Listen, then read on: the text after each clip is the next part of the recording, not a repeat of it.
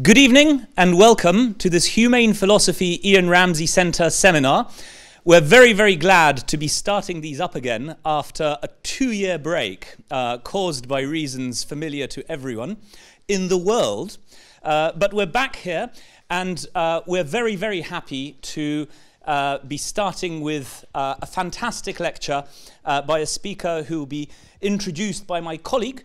Uh, just before that happens, I'd like to thank all of our uh, sponsors uh, and the institutions who have contributed to the success of the Humane Philosophy project.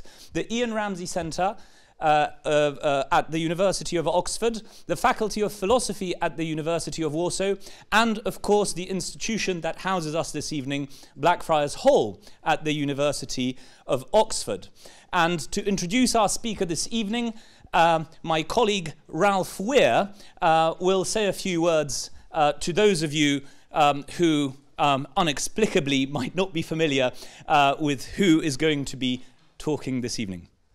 Thank you, Mikołaj. You, you were in charge of, there was meant to be a big advertisement for the Humane Philosophy Project behind us. But in fact, this event is apparently sponsored by Optoma DLP Projection System. We think it's the best projection system out there. We, we you know, recommend you try it out. All right. Well, as Mikołaj uh, uh, implies, our speaker, of course, needs no introduction. Richard Swinburne is a fellow of the British Academy, from 1985 to 2002, he was Professor of Philosophy of Religion here at the University of Oxford. He's written books on epistemic justification, the existence of God, free will, the mind body problem, and all kinds of other fascinating and interesting issues. It's not going too far to say that he is, without a doubt, one of the most important and influential philosophers alive today. So please join me in giving him a very warm welcome.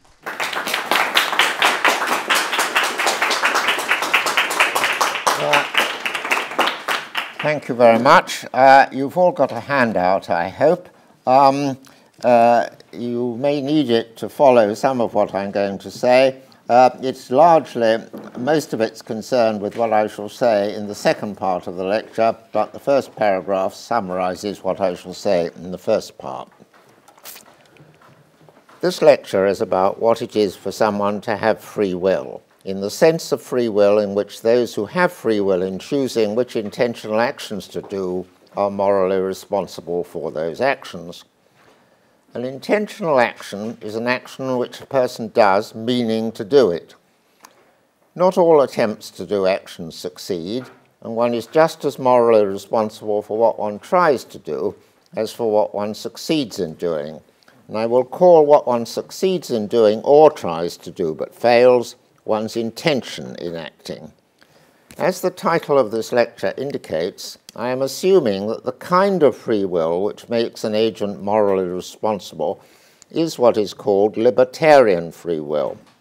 That is, that an intention is free if and only if the agent is not causally determined to form that intention by all the causes influencing them to form the intention. That is to say, causes may influence but do not fully determine. I shall discuss the desirability of different kinds of libertarian free will, so defined, which different creatures might have, and what will constitute evidence for or against humans, humans having free will of each kind.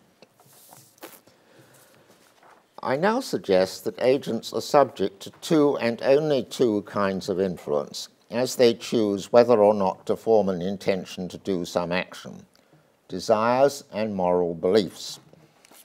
I am understanding a moral belief in a very wide sense as a belief about the overall goodness or badness of an action, overall goodness and or badness of an action, when all its good and bad aspects, both its goodness and bad or badness for the agent and its goodness or badness for all other agents, and their relative importance are taken into account to yield an overall goodness or badness. I'm understanding moral goodness or badness as overall goodness or badness. I am understanding an agent having a desire to do some action as having a felt inclination to do that action, a felt inclination quite apart from whether they believe that it is good or not good to do the action. I shall call one moral belief stronger than another belief if the agent believes it more important to do the former than to do the latter. I shall call one desire stronger than another desire to do some action, if and only if the agent desires more to do the former than to do the latter.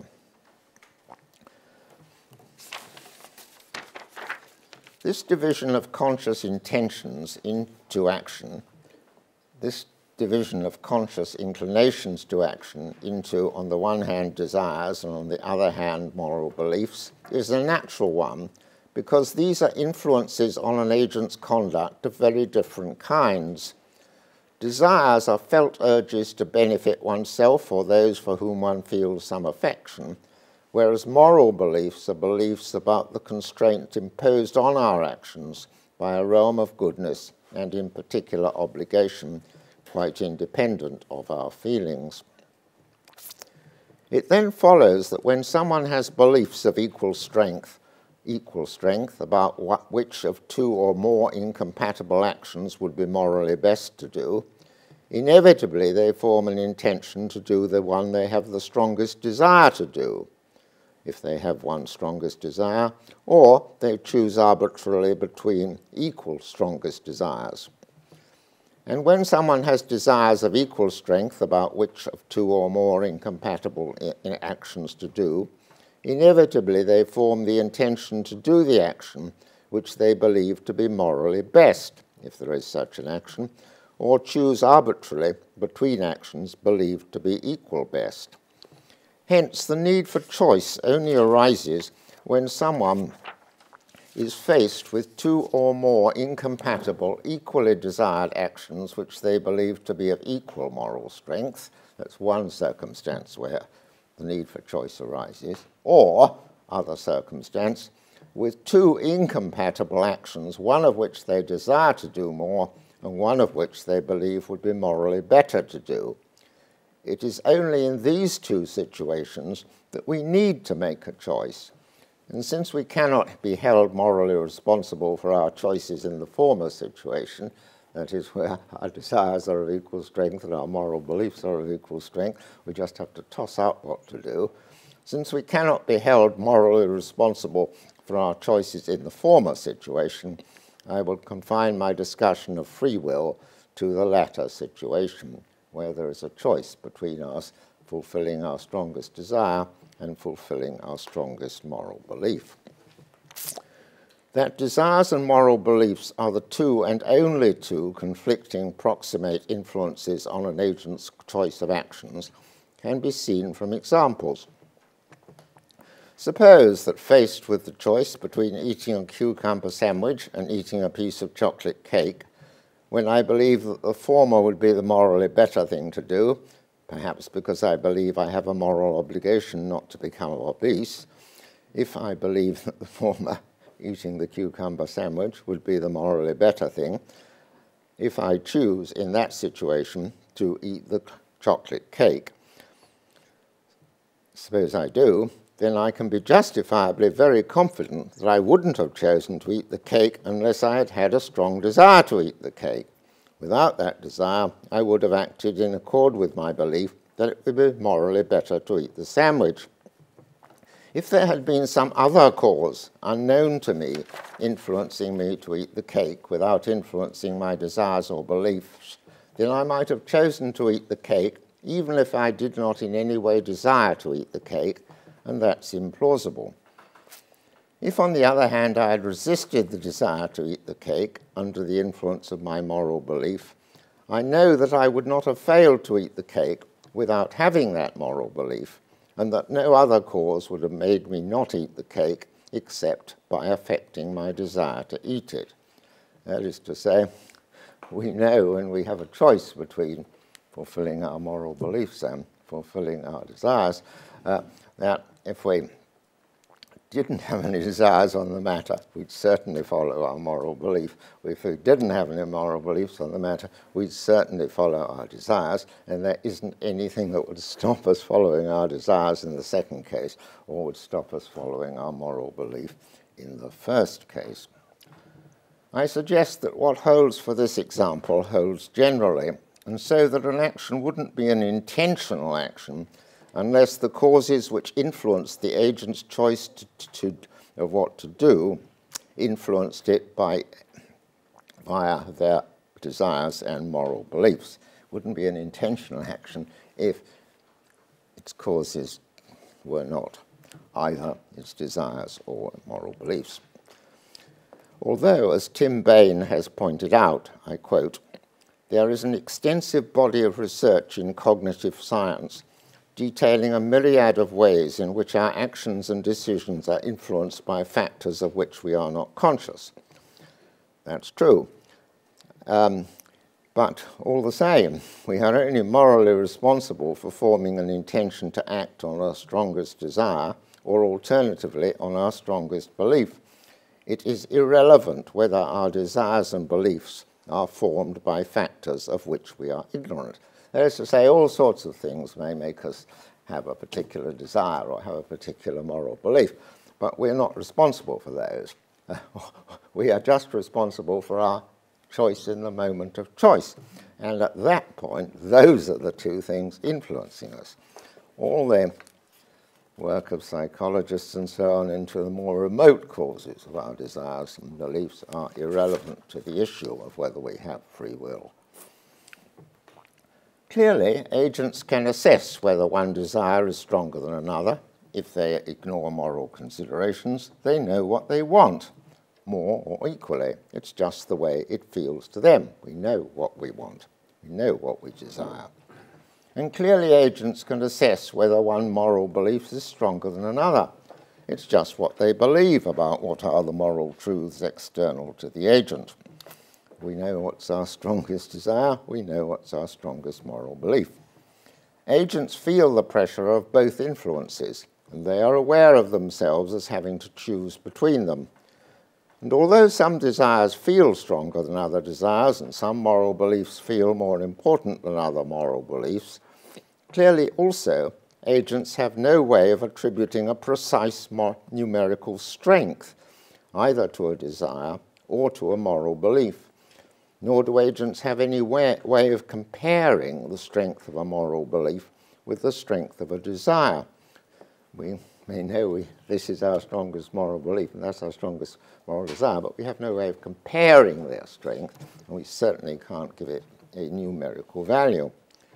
But although we can't give it these things a numerical value, they may have precise strengths, even if we cannot assess them, as it were, uh, from inside. They may have precise moral strengths on a common scale, measurable by the objective probability that they will produce an effect. So that if the strongest desire is stronger than the strongest moral belief, it is objectively moral, more probable that the agent will form the intention to do what they desire. And conversely, when the strongest moral belief is stronger than the strongest desire, then the agent will form the intention to follow their strongest moral belief. That's to say, we can't, yeah, from the inside, assess these strengths, but clearly there is a sense in which they might have strengths, in that the stronger it is, the more probable it will be you act on them. By there being an objective, often called a physical or natural, probability of forming some event, I mean a propensity or bias in the system which causally influences it to produce that event. I shall assume for the moment that these probabilities, and so their strengths, do have precise values, although we may not know what they are. But later in the lecture, I shall consider the possibility that these probabilities and strengths may not have precise values. Beliefs and desires are both passive strengths, site states. At some particular time, one finds oneself desiring to do some action, and one finds oneself believing an envisaged action to be morally good or bad, as the case may be. They're not things we do, they're things we find ourselves with. Uh, of course, in the long run, we may be able to make a difference to them, but at the time of choice, we've got the desires we have, we've got the beliefs we have. For that reason, because they're passive states, it is plausible that these desires and beliefs are caused, either deterministically or with some objective probability less than 1, directly or indirectly by our brain events. And of course, these brain events are themselves caused by our genes and life history. So, I am suggesting the following model of how agents form their intention to do one rather than the other of two incompatible actions. In the simple case, where one action is believed to be morally best and the other is most desired. This total process consists of two separate processes, from a brain event to a desire belief complex, that's to say, collection of your desires and beliefs with their different strengths. And from a desire belief complex to an intention. Uh, this is a total process governed insofar as it is governed by an overall natural law. This law determines the objective probability that different brain events will cause, with different degrees of objective probability, different desire belief complexes in which the strongest moral belief and the strongest de desire may differ in strength. The first part of the process is brain events cause us, no doubt the brain events caused by all sorts of other things in the past, cause us to have a desire belief complex, a set of desires and beliefs uh, with different strengths. So let us assess, uh, assign, and this is on your handout, let us assign a strength of 1 to the complex if necessarily it will cause the agent to act on their moral belief, and 0 to the complex if necessarily it will cause the agent to act on their strongest desire. Now we start on the second paragraph. Strengths of the complex intermediate, intermediate between 1 and 0 measure the degree to which it's more probable that the complex will lead to the agent acting on their strongest moral belief than on their strongest desire. The closer, if the, if the complex has a strength of a two thirds, then it's twice as likely that they will act on their uh, strongest moral belief than on their strongest desire. If it's one third, it's much more likely they'll act on their strongest desire, much more probable. There is bias in the system is towards that. The closer the value of the, the strength of the complex, the harder it will be for an agent to resist the temptation to do the most desired action. So, the probability that some brain event will lead to a certain intention is a function of two probabilities. The probability that the brain event will cause a certain desire belief complex, and the probability that the desire belief complex will lead to that intention. The overall probability that the brain event will lead to a certain intention is then the sum of the probabilities of each of the different routes, that is, via different desire belief complexes with different strengths by which it could lead to that intention. Got the model? Two separate processes, brain events, two desires and beliefs, complexes, from desires and belief complexes to intentions. And it's the second process that our free will, if we've got it, depends on. Now, take a very simple example to fill that out. Suppose that the law which determines the biases of things has the consequence that there are only two possible values of the strength of the desire belief complex, one third and two thirds. And suppose that for a certain uh, brain state, there is a probability of two thirds that that brain state will cause the desired belief complex with the strength of a third, and a probability of a third that it will cause that desire, that it will cause the desired belief complex with a strength of zero. That is to say, if there are two routes to the intention, uh, the probability that a certain brain event will lead to that intention um, there are two ways of getting there. Getting there via a certain desire belief complex with a certain strength, and that in turn uh, makes it probable, according to the size of the strength, that you'll have that intention. Alternatively, a different desire belief complex, which will get to the same way, only in a different route. In that case, in case of my simple example, it doesn't matter if you haven't got the maths in your mind, uh, it, but in that particular example, there will be a probability of two thirds times one third plus a third times zero, and that will add up to seven out of nine. That the those brain states, that original brain state, will lead to the formation of an intention to do the action most desired. And therefore, two ninths, that it will lead to formation of intention to do the moral action. So, more generally, given that the complex can have a strength of one or naught, or any strength in between these, then for each total brain state, B1, including all the brain events which causally influence the complex, doesn't matter if you can follow, need to follow this, where Q is the probability that B1 will cause a complex of strength R, then the probability that the agent will form the moral intention as opposed to the most desired in intention is the integral of P2 for all possible values of P and Q. Okay, I hope you've got the model, if not the details. You start with a brain different brain events.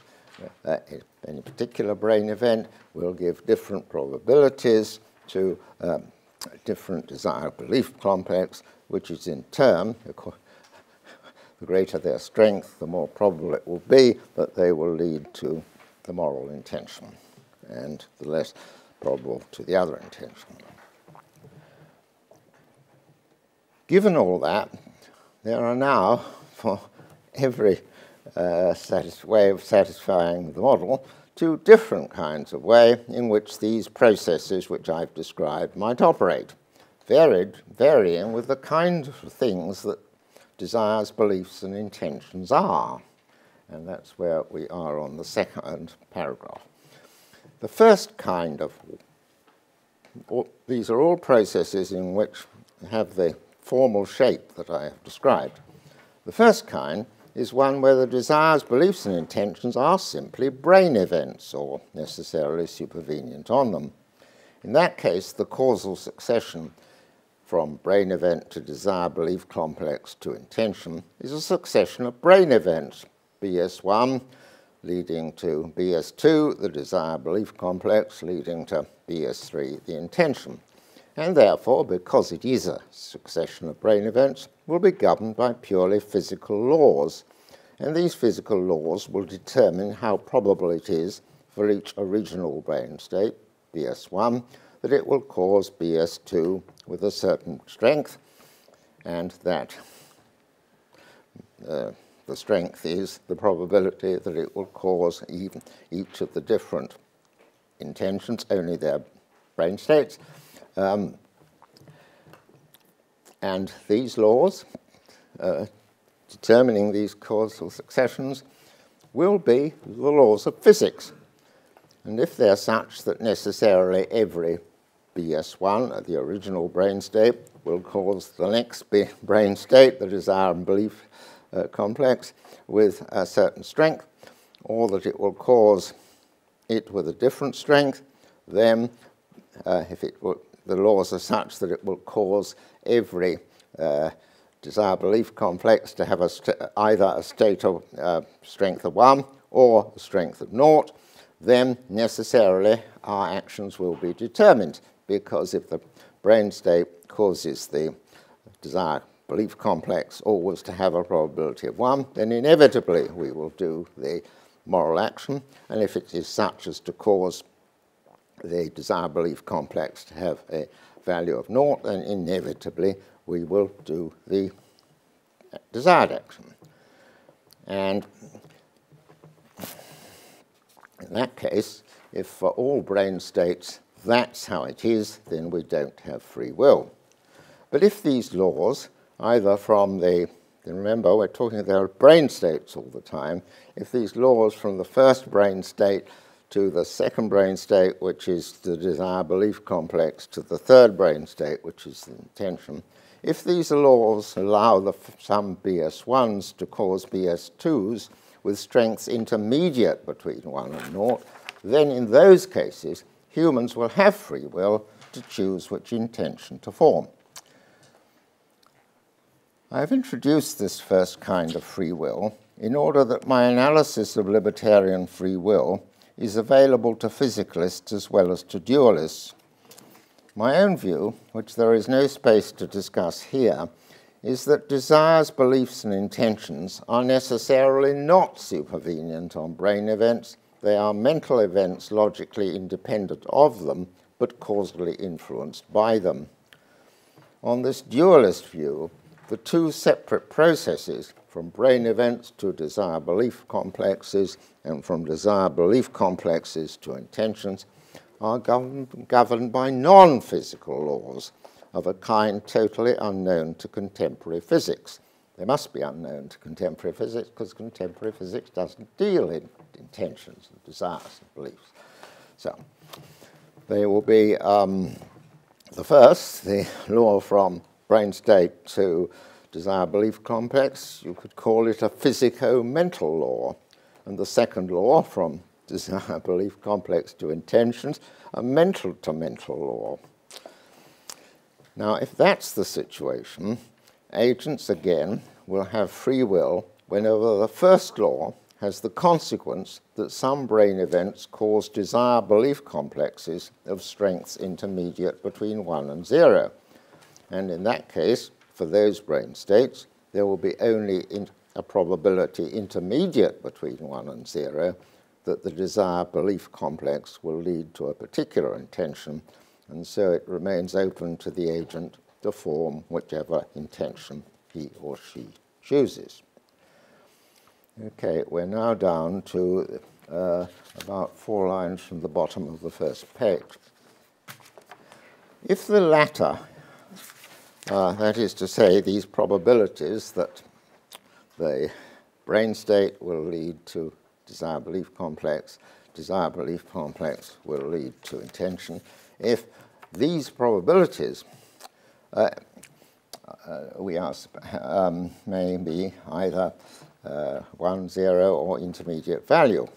But it's the latter stage, the stage from um, desire belief complex to intention, um, if that uh, probability arising from the strength of the complex is of the normal numerical kind, and so the probability of an intention of a given kind in identical circumstances, that is, when caused by a qualitatively identical desire belief complex on each occasion, then we have the problem to which Peter van Inwagen drew our attention in his rollback argument.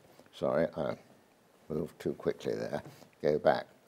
Um, just get the idea that if these desires and beliefs are separate from um, brain events. And the, the succession of, again, two, there are two separate processes, and each may have its own probability. One probability that the brain state will cause the com certain complex, another probability, which measures the strength of the complex, that it will move from there to an intention. Th then um, it's only the second process on which our free will depends, uh, because it's only the second process that is governed by desires and when desires and beliefs are influencing us that uh, we uh, have, have, to make choices. And um, I'm assuming for the moment that this probability is of the normal numerical kind. Um, every, everything I've said so far implies that. It might be a half or it might be two thirds. It has a definite bias built in. Um, and so um, it, would seem, uh, if it has a definite bias built in, uh, each time that a desire, uh, a belief complex of a certain sort is formed, it, it has a particular bias built into it uh, and this bias is caused by the way it's formed, then uh, each time a qualitatively identical desire belief complex is formed, one with the same desires and beliefs of the same strength, then um, we have uh, we ought to be able to calculate what is the probability of if you make a lot, if you are millions of times in this situation, uh, what, how probable it will be that many of the choices will be of one kind and many of another. And so if there's an identity, if this a particular brain stage is repeated innumerable times, then uh, you can work out uh, if it's biased towards the moral belief on one occasion is uh, two-thirds, then you can work out how probable it will be that if you repeat it a million times, uh, there will be a probability uh, or there will be so and so many uh, uh, moral choices formed. And Peter van Inwagen imagined this situation in what he called his rollback argument. And the rollback argument is if a qualitatively identical cause, is the desire belief complex, occurs a large number of times, it is objectively very probable indeed that the proportion of times on which the effect occurs will correspond very closely to the probability of it occurring on any one occasion. For example, if a desire belief complex has a strength of two thirds, and so there's a probability of two thirds that it will cause the agent to choose the morally best intention, then there's a very high probability indeed that if that particular desire complex is instantiated a million times, it will cause the agent to form that intention on some number of occasions fairly close to 666,667. So, as Van Inwagen suggested, it, this is his words, as Van Inwagen suggested, it might seem to be a matter of chance that on any one actual occasion on which these desires and beliefs occurred was one on which the agent formed the morally best intention rather than one on the, which they did not. If you, as it were, it must be a matter of chance that you caught the agent in that situation where um, uh, it, was of a particular kind.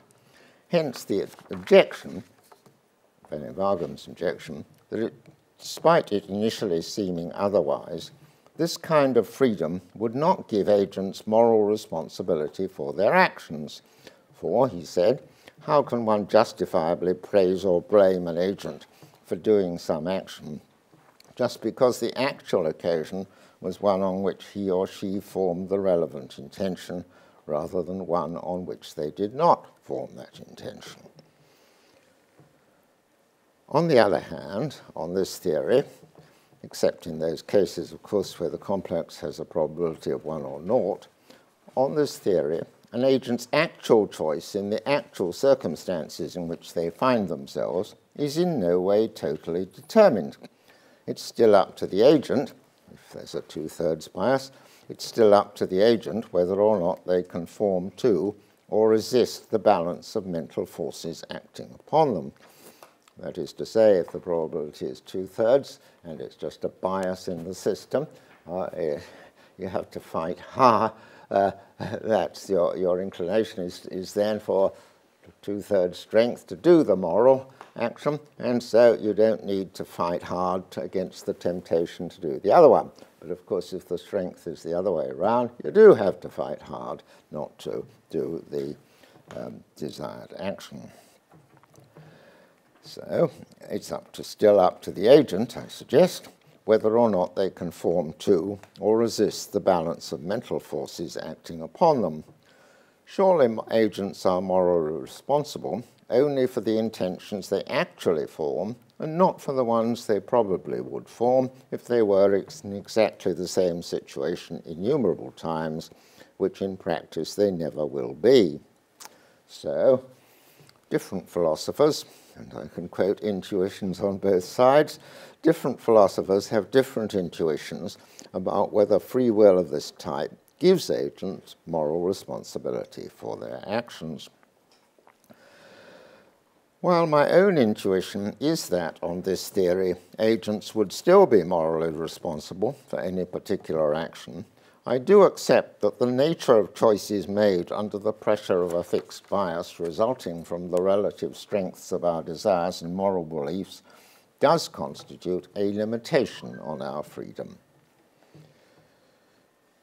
It is possible to avoid this disadvantage of the second kind of free will if we suppose that desires and moral beliefs are not things of a kind which have precise numerical strengths other than one or naught. In that case, the, the only law uh, would be a law determining that a certain kind of brain event would produce a complex with a certain strongest disease, desire and a strongest moral belief. But that complex would not, unless it had a probability of one or naught, have a particular numerical strength, giving, in consequence, an exact desire or exact degree of objective probability that an agent would form one intention rather than the other. Uh, Alan Hájek uh, has argued that for many events, I quote, including perhaps free actions, close quote, there is no probability that they will occur or that they will not occur. And Lara Buchak rightly claimed that Van Inwagen was not entitled to make the assumption that undetermined human choices of intention have fixed biases. I suggest that it is in no way implausible to suppose that if desires and beliefs do not supervene on brain events, they do not have strengths with precise numerical values. We all know how arbitrary is any answer we can give to a question of the form, on a scale of 1 to 10, how much do you desire it? Well, it's pretty arbitrary, and we, we seem to report, you know, how it is internal to us. Pretty arbitrary. However, given that agents sometimes act on their strongest desire of some kind and sometimes act on their strongest moral belief of some kind, we can speak of a desire belief complex giving a non numerical probability less than 1 to the occurrence of some intention, in the sense that it provides a necessary but not sufficient condition for the occurrence of the intention and is sometimes followed by that intention. So I'm suggesting we can have a sense of uh, probability in which um, probabilities do not have exact values, and to say uh, that uh, some brain state causes a desire belief complex of a certain sort which gives a certain prob- which gives a probability to the occurrence of an intention, is merely to say, on this view, that the desire belief complex is such that its occurrence is necessary for the occurrence of the intention, and also that um, uh, also that uh, intentions of that sort do sometimes follow from it. I will give, call a theory in which brain events do not give numerical probabilities, other than one or naught, to the desires and beliefs which they cause, and so that these desires and beliefs have no particular numerical strengths which determine a numerical probability.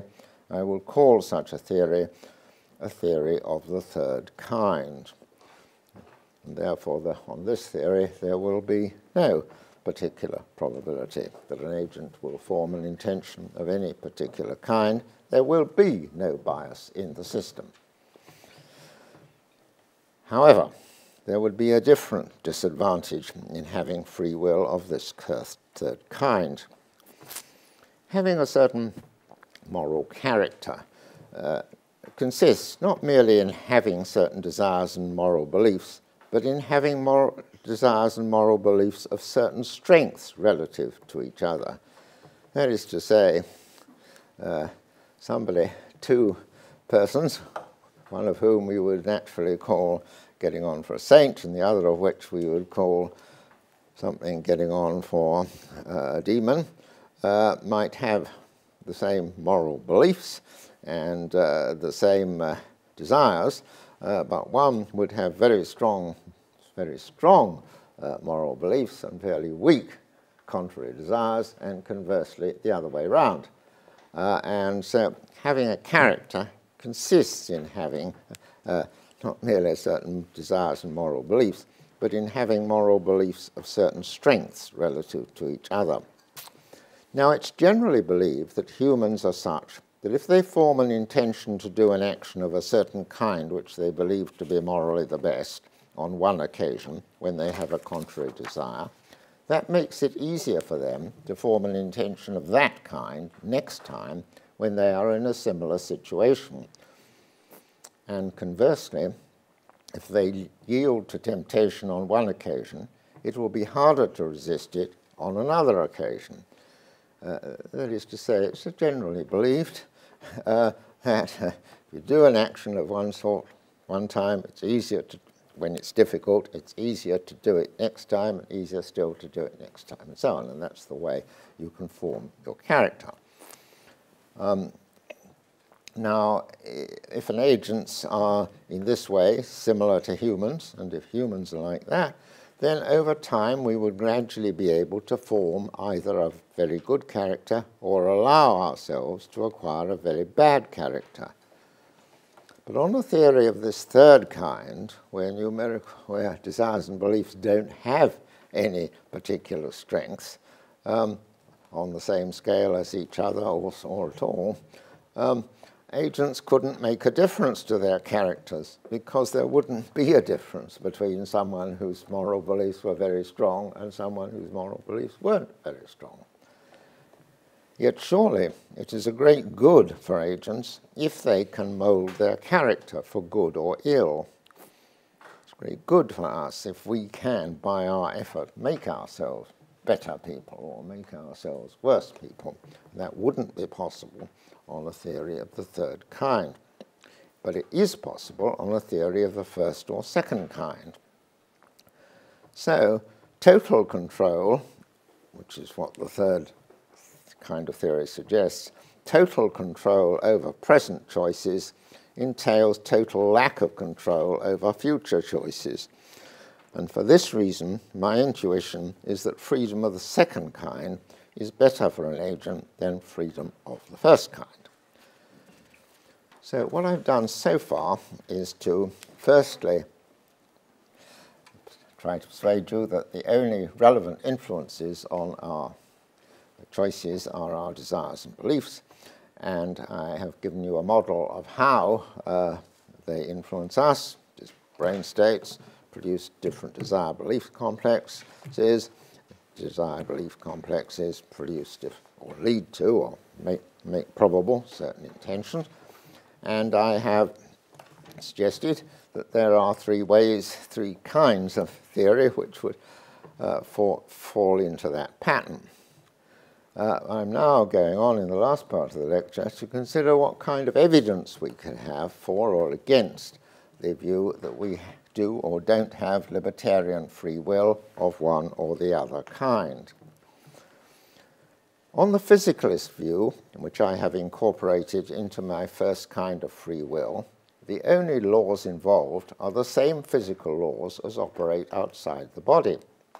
So in the course of time, neuroscientists ought to be able to reach a well-established conclusion about whether the particular sorts of brain events, which of course will be events over a large area of the brain, whether the particular sort of brain events necessary for the production of particular desires and beliefs and thereby of intentions make it necessary or only probable that the intention will be of a certain kind. It may turn out that the laws, including the ones governing the crucial second stage, are in fact quantum laws of quantum theory, and uh, the brain is so organized that small uh, variations within a brain state of a quantum kind uh, do, make, do not give probabilities of 1 or naught to us doing certain actions, but allow for intermediate probabilities. That might happen. But so if it were the case, and I think it isn't the case, if it were the case that our desires, beliefs, etc., were just brain states, uh, science had a good chance of working it all out, which the situation is. Not, of course, tomorrow, but in the course of uh, many decades. But on the other two theories, desires and beliefs cannot be observed publicly. Their strength cannot be measured in the way that it could on the, on the first theory. And so the only relevant public evidence about their influences on our intentions must come from the work of neuroscientists on the extent of the correlations between the brain events which cause our desires and beliefs and the intentions which the desires and beliefs cause. That is to say, on uh, the dualist view, the desires and beliefs are not, unlike on the physicalist view, things scientists can look at and measure. So all the scientists can look at and measure are the first stage of the process, the brain events which cause our desires and beliefs, and the last stage of the process, the intention which we form. And, but they can measure whether the, the brain events of different kinds at the first stage are correlated with different intentions at the last stage. And this sort of work is going on. It's the kind of work currently being pursued by the program initiated by Benjamin Libet in the 1980s, in which some non-invasive measure, method is used to discover which brain events influence, view, us to form intentions to do one or other alternate actions. That is to say, the scientists can observe what's going on in the brain, uh, and they can't observe the desires and beliefs, but they can observe what intentions come out at the end, and they can work out whether these are, how far these are correlated with one another. And lots of experimental work has gone on.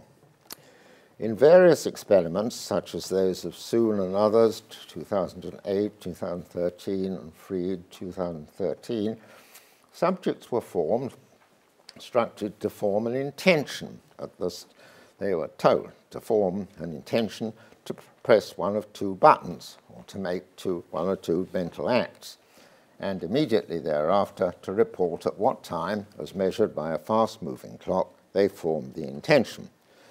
And experimenters found significant correlations of 60 to 80 percent between different patterns of brain events several seconds before the formation of the intention, at which time presumably they would have had relevant desires and beliefs, and the particular intention subsequently formed. So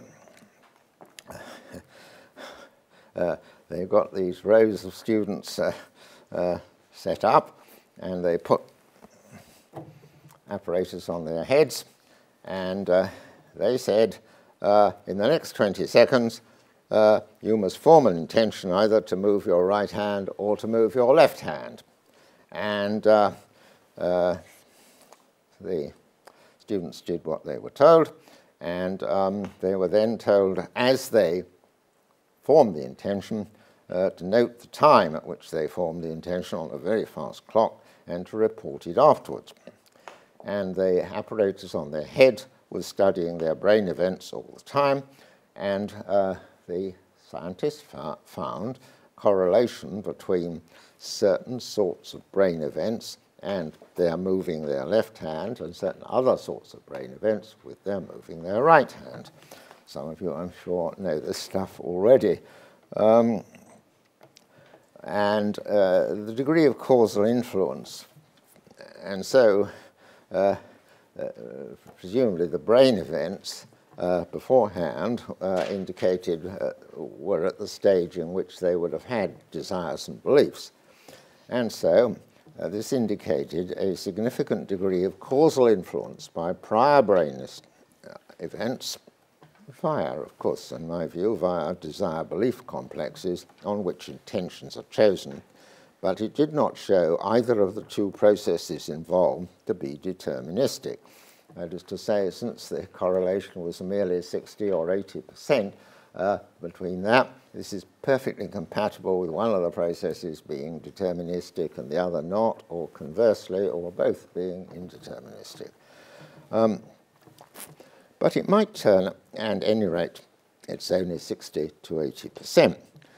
Um, but it might turn out that as more and more brain areas and individual neuron firings are taken into account, scientists can find a pattern uh, which gives more and more accurate correlations of these brain events with the subsequent intentions, perhaps that scientists might begin to find that it's 90 or 95% between a certain brain event and subsequent intentions. And that would make it epistemically probable that if you went on more and studying a larger and larger brain event, more and more detail, more and more often, you, you might find 100% correlations between brain events of a certain kind and subsequent intentions. And that, of course, would make it epistemically very probable that the processes of the kind studied are deterministic, and so would show that both the processes of brain events causing desire belief complexes and desire belief complexes causally influencing intentions are deterministic. And so it would show that humans do not have libertarian free will of any kind when making choices of the kind so far studied. If you really got to deterministic correlations between brain state beforehand and intention afterwards, then both processes would have to be deterministic, and that would include the last process. And so we would be predetermined to make those particular choices. The trouble is that the kinds of studies done, move your right hand or move your left hand, or one or two somewhat more complicated ones, are all ones in which subjects wouldn't consider that it would be morally better to form one intention rather than the other. And so, inevitably, they act on their strongest or equal strongest desires. And of course, that's what I admitted at the beginning. And uh, for this reason, as has been pointed out by very many commentators, the kind of choice involved in these experiments is so different from that involved in making choices between actions which subjects desire to do more and actions which they believe to be morally better to do, that one cannot extrapolate from the result of these experiments to any conclusion about our freedom in making serious moral choices. Now, there are obvious practical and ethical problems in organizing a study where the choices are serious moral choices. You're not going to put something on there somebody's head all the time. They're trying to work out whether they've got a vocation or not. Um, and um, there are obvious problems in that. But if and when such studies are done, and if and when their results showed correlations of the kind found in Libet type experiments beginning to approach 100%, then a similar deterministic conclusion should be drawn. But suppose, on the contrary, that in some situations of serious moral choice, for any particular pattern of brain activity prior to the formation of the subject's intention, always a significant number of subjects form one intention and a significant number of subjects form a different intention, and that this remains the case however detailed is the pattern of neural activity studied. In that case, the next issue is whether, in more and more studies of the effect of any particular initial brain event, the proportion of choices of the moral intention over the desired intention converges on a particular value, for example, two thirds. By converges on a particular value, I mean you find if you do 100 studies, then uh, 66 of them show uh, uh um, uh, the formation of the moral intention. But if you go on doing a million, then the same proportion holds. It, it will, and it gets closer and closer to two thirds the more and more studies you make. Uh, suppose you do find that um, although uh, there's no deterministic correlation between the first stage and the last stage, nevertheless, the proportion of intentions does converge on a particular value. And that would be evidence of a constant probabilistic bias, either in the first process involved, or in the second process involved, or in both.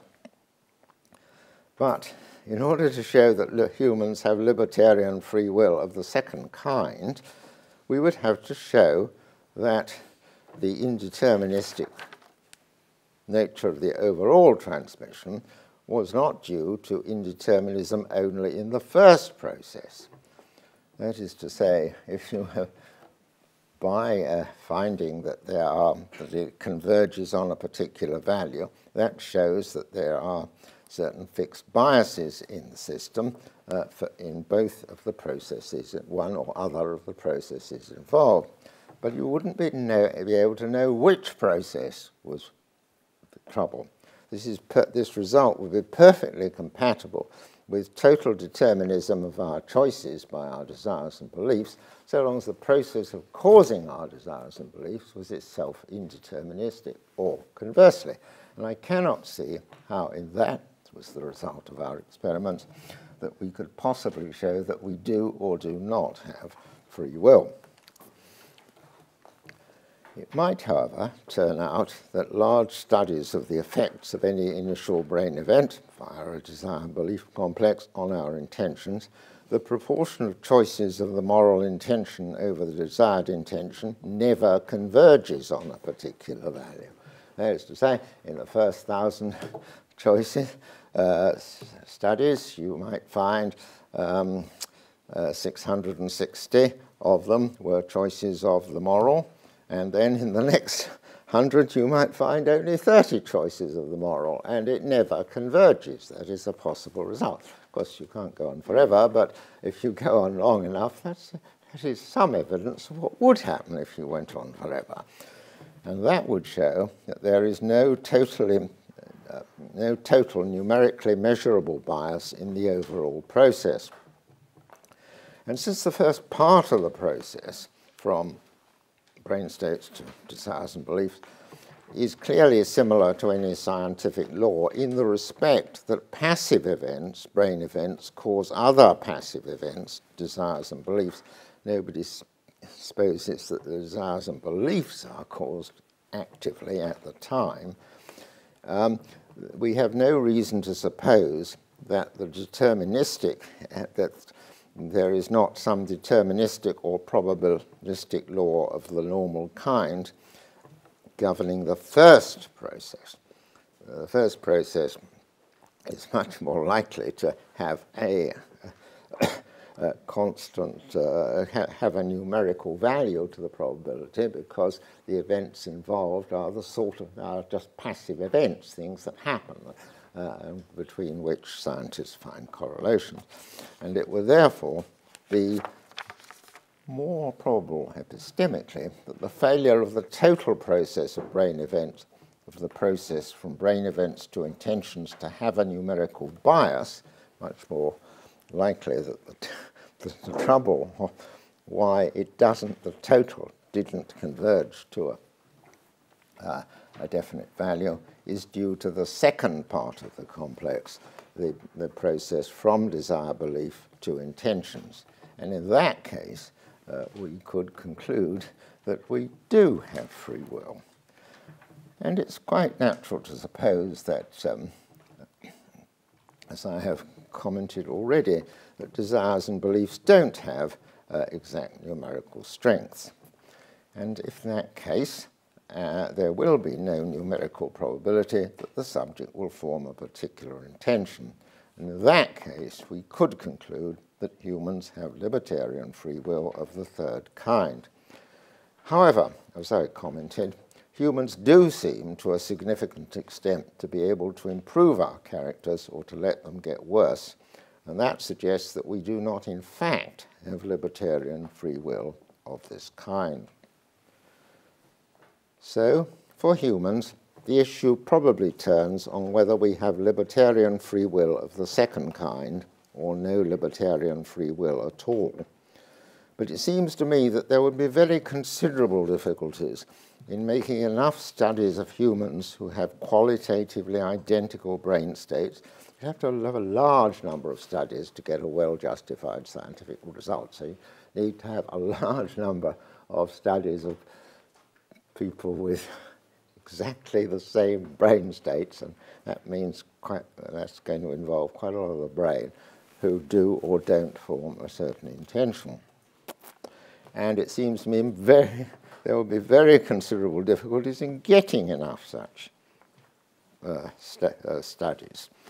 First, there is the difficulty that given that the uh, apparent fact that um, each time we make a choice that makes it more or e easier or less easy to make that choice next time, humans will never, a given human will never be in the same brain state. So you'd have to do the test on, on large numbers, many thousands of different humans you'd need to find who have exactly identical brain states. And that's immensely unlikely that you would find these, because I doubt if you would find any two humans who at any time have exactly the same brain state, because the brain states involved in forming our desires and beliefs are, cover a very wide area of our brain. So I think it most unlikely that we will ever be able to conduct a large enough series of studies to show whether humans have libertarian free will of any kind. However, we do have some hints of what is the right conclusion from our own experience of what is happening when we ourselves form an intention. And the best study of this, known to me, suggests that most people feel it's up to them whether or not they are choosing freely um, between satisfying their strongest desire and satisfying their strongest belief. And that, I suspect, is the best we can do in this mortal life to find the answer. Thank you.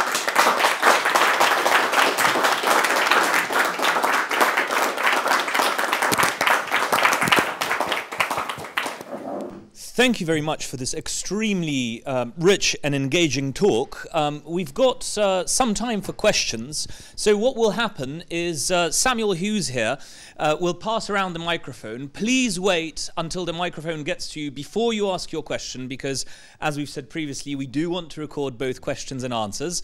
And uh, if you do want to ask a question, please raise your hand and uh, Ralph Weir will uh, uh, field, field the questions and point to you when it's your turn. So please wait for the microphone to get to you, and please wait for Ralph Weir to point you out as the person asking the question. I, I, think well, Nick Waghorn is.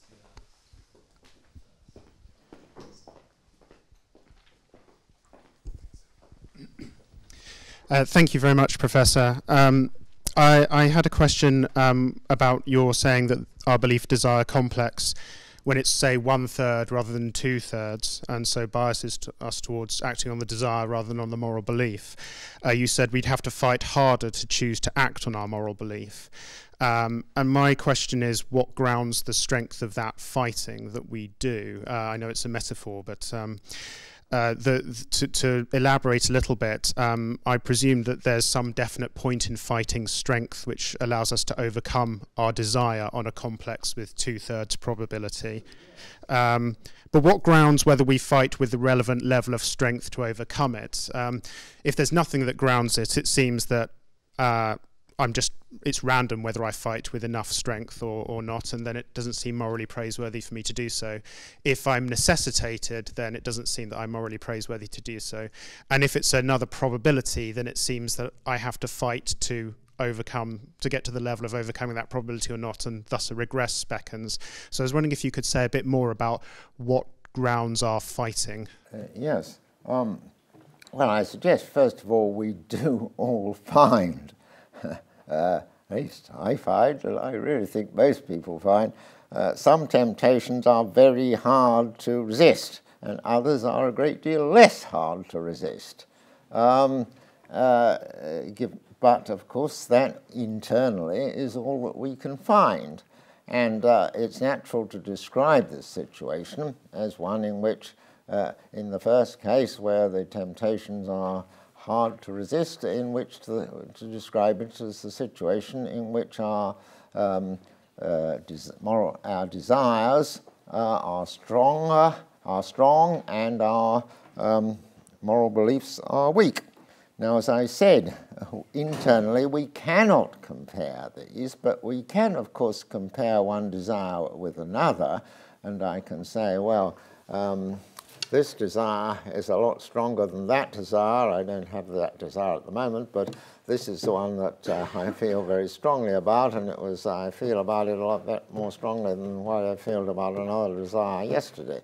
Um, so we do have an idea that some desires are stronger than another, and we can uh, note this internally.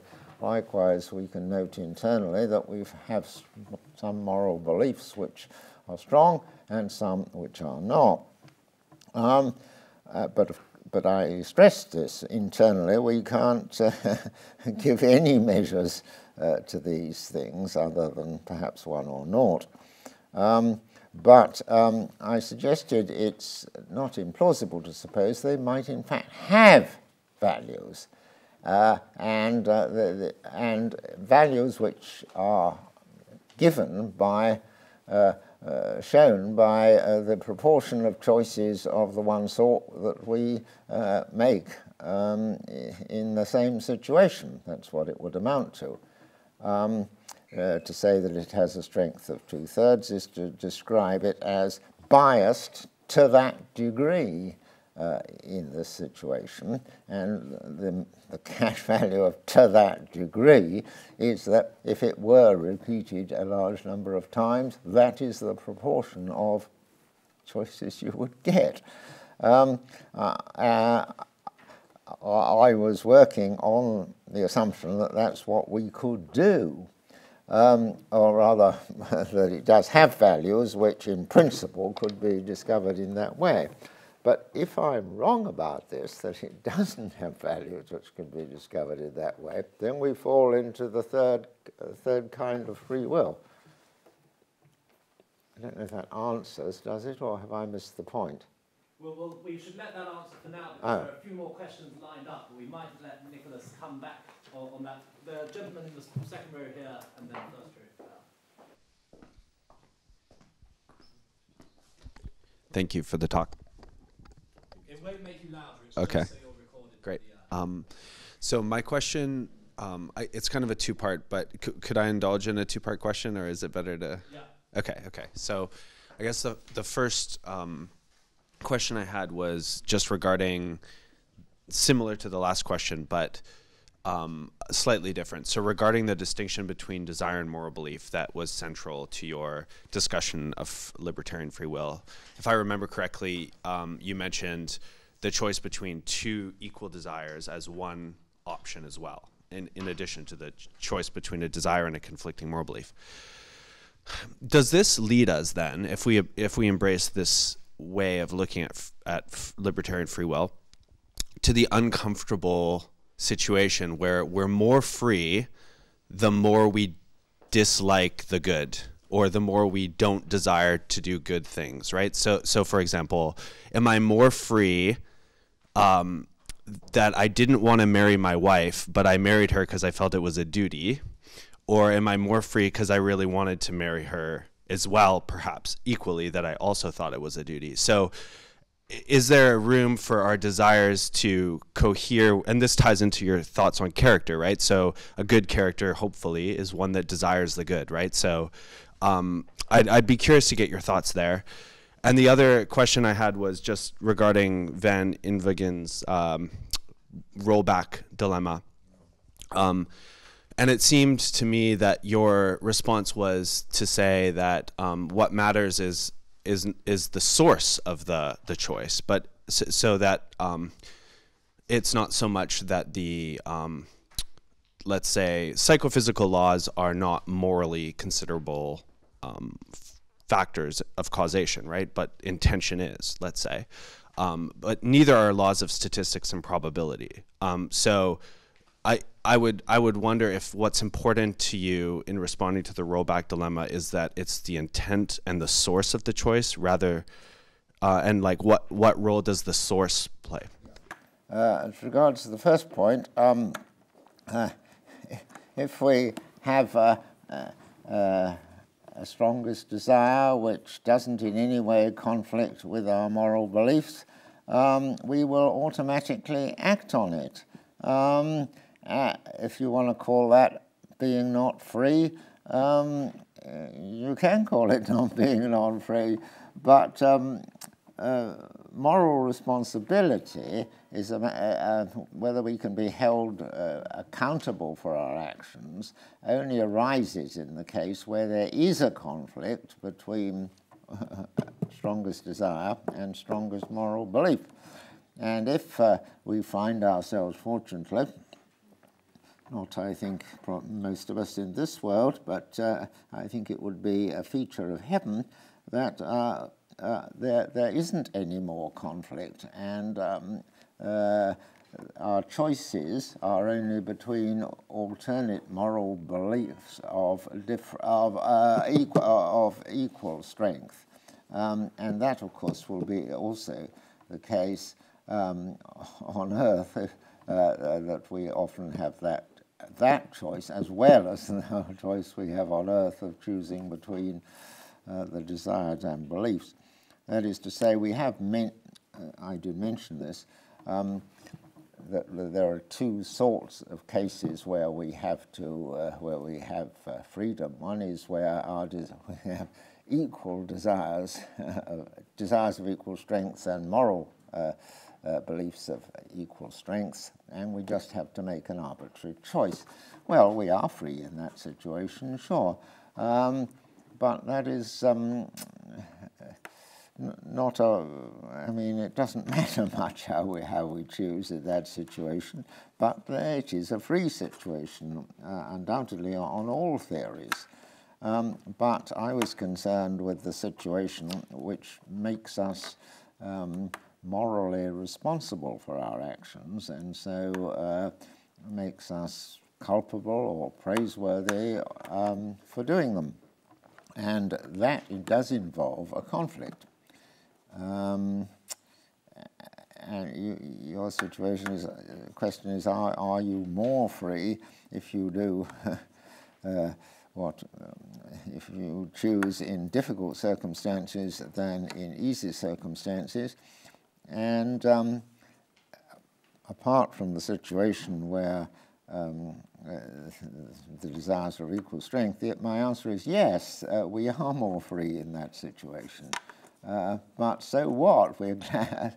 Uh, it doesn't matter because uh, it's good to do what you want. It's good to do what you desire. If you find yourself with a desire to do this marvelous thing, uh, and no choice, not uh, no wish to do anything else, you'll automatically do it. In my terminology, you're not free in that, but that's a situation where it's pretty good not to be free, and uh, let's leave it at that. Um, in the second uh, case, in, in the rollback case, um, it's uh, my argument, and I say there are intuitions among philosophers, I could quote two or three on each, each side of the debate, um, there are those who say, well, um, uh, if, if it's, uh, but they have different pictures of what's going on. Those who, who say that um, if, if there's a fixed by a fixed chance, um, it's that there's a um, you how shall I put it? Um, they have a picture of, as it were, you choosing a sort of a picture of all these possible worlds in which you are making these choices, all being realized, and therefore they say uh, it, it's going to be rather a lucky accident whether one of these possible worlds is realized rather than another one. And that's the intuition that drives the, the people who say um, the rollback shows that we are not really free. Those who say we are really free concentrate on the actual situation and don't imagine all these possible worlds. And they say, well, in the actual situation, it's just that we have a certain bias and it's strong in one, stronger to do one thing than the other, but we can fight against the strong uh, bias if we like. And I think that's the right way to, to look at it because uh, there aren't all these possible worlds. Uh, they don't exist um, uh, in which all these choices are, are made, and as it were, the investigator catches you in one of these possible worlds. None of these exist, and if you don't think in that way, you just think as regards the actual situation, then I think you do have uh, a genuine freedom. But of course, it's does uh, the bias does mean freedom's hard.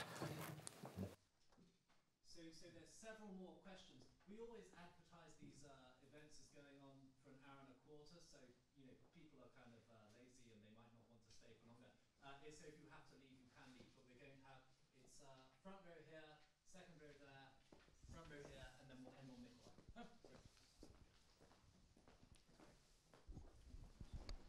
Thank you, Professor Swinburne. Um, so my question is also related to a kind of Van Inwagen rollback argument. But so the thought is you have um, some uh, you, you assign an antecedent probability to the belief desire complex such that an agent fires two thirds of the time and then sighs one third of the time.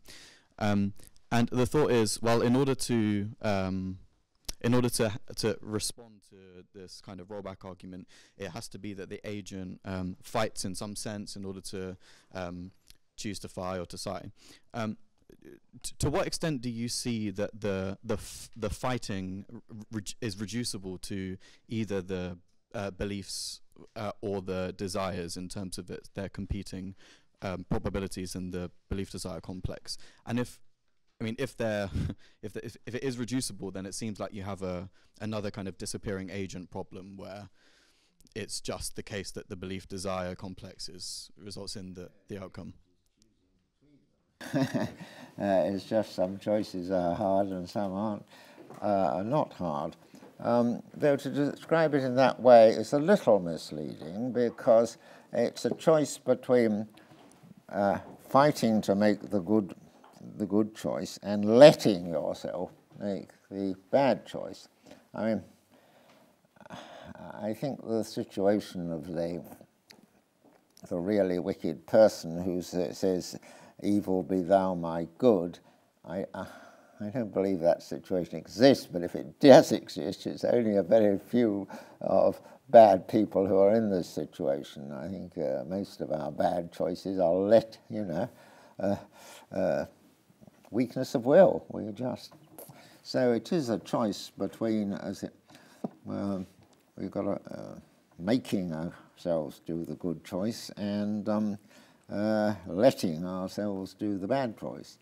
And um, that's what uh, the, the, particular situation consists in. It doesn't consist in um, the coin going one way or another uh, as a matter determined by law. It just it's, it's the law concerns an individual bias in a particular each particular situation. The bias is one you feel and you have to yield to or fight against. I mean, I did describe it that way on the basis of um, our internal awareness of what's going on. Yes.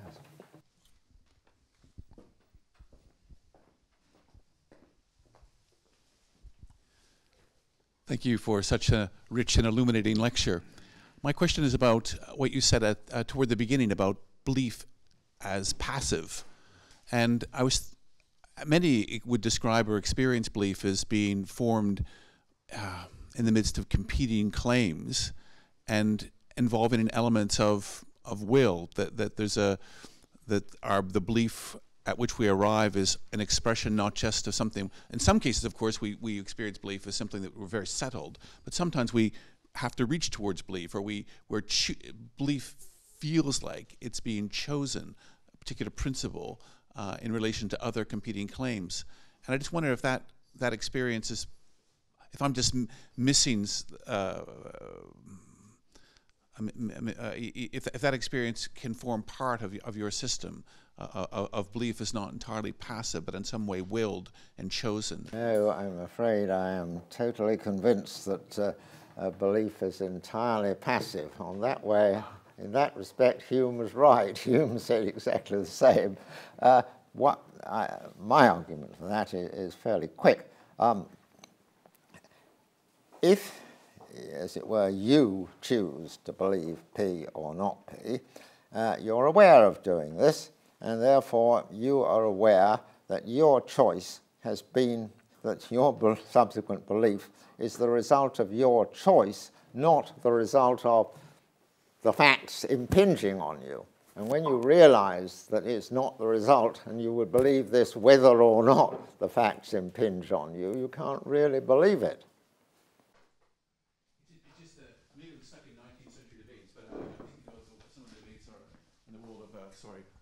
I might be stuck in 19th century debates uh, in the world of uh, John Henry Newman and uh, E.B. Pusey and John Keble, but arguing, thinking about, uh, arguing precisely that belief is formed in the context of a trial, a moral trial. So there's a, there's, there's a element of the kind of belief at which we arrive as an expression of our character. Uh, yes, but um, two points. Firstly, I'm talking about belief that. Belief that so and so is the case. I'm not talking about belief in, commitment to. You can believe, commit yourself to a system, and that is certainly a choice. And you're fairly sensible if you commit yourself to a system which is probably true. But there's nothing wrong in committing yourself to a system which is probably false, and that is a commitment. I mean, uh, obvious examples. Uh, if, you, if, you want to win, if you want a million pounds and the only way of getting a million pounds is to win the lottery, uh, it's sensible to invest in the lottery. Even though you believe you won't win, you are putting your belief in the lottery in that sense. Um, but, um, so that's the first distinction I made. Now, secondly, of course, in, um, uh, we uh, uh, normally go through a process of looking at the evidence uh, before uh, we come to beliefs. But we let, if we are rational, we let the evidence, uh, as it were, guide us to our beliefs. We don't force our beliefs on the evidence. Um, uh, you may say we can do that, but it's not rational. No, you can't do that uh, because, you, because if you thought you were, going back to my earlier argument, if you thought you, we were, you were forcing yourself to believe something, then you would realize that you, your belief was independent of how things are. And if you realized your belief was independent of how things are, you wouldn't believe it. If you really thought, I believe this, but I know that I chose to believe this, and I know that I would have chosen to believe this whether or not it was true, you wouldn't really believe it. Uh, you believe it because you believe you have been forced to believe it by the evidence. Um, but of course, uh, when we investigate something, um, we uh, look at the alternatives, we weigh the alternatives, and uh, let ourselves be guided by that. And we can choose whether or not to investigate something. We can choose how long to go on investigating something. That's all a matter of choice. We can uh, choose what we investigate. But once we investigate, the evidence forces us one way or the other. At least that is my picture, and that's my reason why I want to say that. I think Newman uh, uh, was uh, should have made more of the distinction between believing in and believing that. He was really talking about believing in.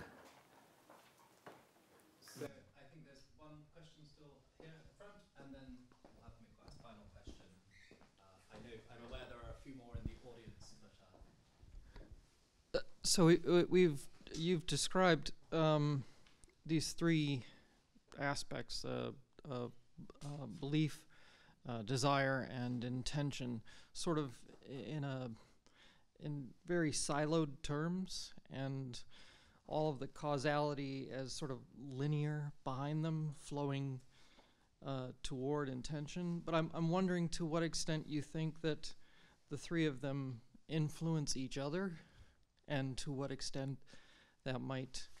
Um, well, that goes back really to the previous question. Um, uh, causally, of course, causally, um, all sorts of things may be happening under the surface that we are not aware of, but the question is, uh, which are we aware of?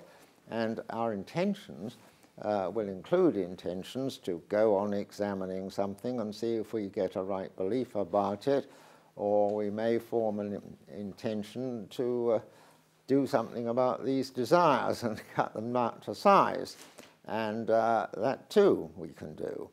But my, what I said was, at a given time, our desires and beliefs are fixed. That is to say, when I'm forming the intention. Of course, over time, we can form, change our desires, including, as I say, by the intentions we form.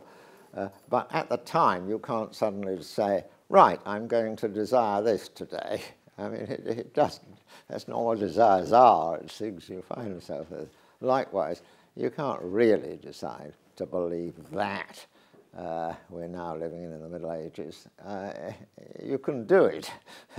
um, and I think the same applies to all, sort, all sorts of beliefs, if you're talking solely about beliefs that. But of course, in the course of time, not merely can you change your beliefs by rational processes, you can, as it were, try and brainwash yourself but you'll only succeed if you forget that you have tried to brainwash yourself, and that takes a lot of time.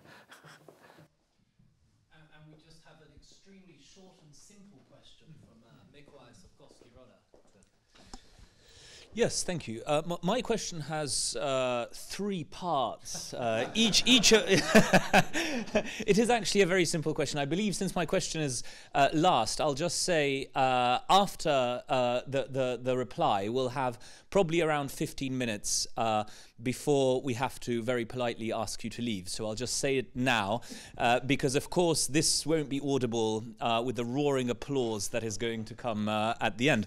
But I was just curious. Um, uh, uh, what you'd or where you'd place uh, um, the idea of whim between desires and moral beliefs, uh, because it would be strange to speak of whim as something that uh, just means that the strongest moral uh, belief prevails, but it seems to me it would also be kind of strange to say that whim can just simply be analyzed in terms of the strongest desire prevailing. When someone does something on a whim, it seems to me, uh, at least in sort of the ordinary context, uh, that the person might not be doing something that they you know desire most or even particularly desire that's the that's it, it seems to me that's the whole point of doing something on a whim and yet it's not a case of doing something where you